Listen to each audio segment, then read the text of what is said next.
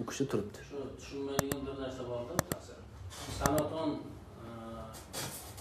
imom jafardan abu hanifa ikki yil anavi bo'lgan degan ishora bor bu haqiqatmikan shogirdlikka imom javfar e, jafari sodiq bilan zamondosh bo'lganlari o'rtalaridagi ko'p gap so'zlar bo'lganlari rivoyatlarda sobit.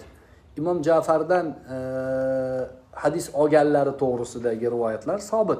Lekin tasavvufni biz bugun o'ylayotgandek shayx shogird shayx murid silsilasi kabi zaif bo'lmagan ya'ni ko'rinishi bunaqa sodda bo'lmagan. Tasavvuf xuddi aqida fanini singari fan bo'lgan. O'zlari shayx albatta tasavvuf masalalarida e, o'zlarini diyonatiga tegishli gapni ustozdan oladi. Gap bo'lishi mumkin emas. Bu kishini asosiy ustozlari kim? Hammod ibn sulaymon. Hammod ibn sulaymonni shayxi kim?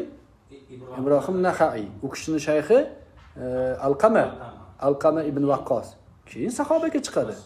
Abdulloh ibn masudga chiqadi ibn umarga chiqadi. Buyog'i katta sahoba.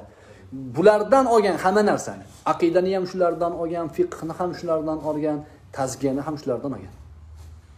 Shu yerda biz bunga yaxshi tushunamiz domla bitta narsa e, o'sha shiyalarning anavisi bu fikriy zikriy narsasi degan ishoralar ham bor ekan bu aynan haqiqatmikan?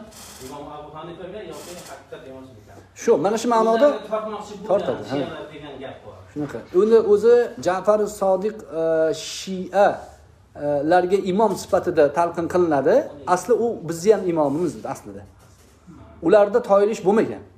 Faqat siz aytayotgan singari siyosiy ma'noda abu hanifadek katta zotni o'zlarini safiga tortish uchun qilishadi lekin o'rtalarida aloqa bo'lgan. Oldik salomat bo'ling